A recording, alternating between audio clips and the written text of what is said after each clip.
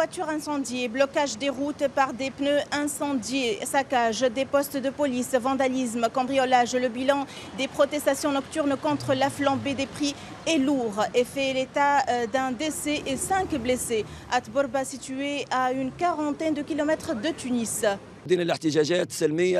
Les protestations été pacifiques au début. Elles ont vite dégénéré en affrontement avec la police, ce qui a provoqué la mort d'un jeune citoyen à cause de l'utilisation abusive du gaz lacrymogène. La vie est chère, on n'arrive plus à manger, c'est pour cela qu'on manifeste. Une dizaine de villes sont concernées par ce mouvement de contestation sociale provoqué par l'entrée en vigueur le 1er janvier d'une série de hausses de prix décidées euh, dans le cadre de la loi des finances pour 2018.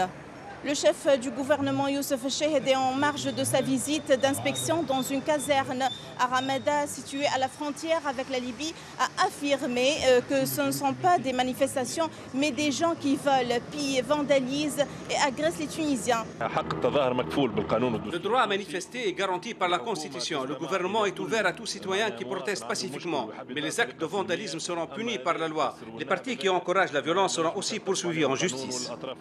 En précisant que l'État tient à protéger les manifestants pacifiques, à savoir que plus de 40 personnes ont été arrêtées dans ces protestations. Najwa Médien TV, Tunis.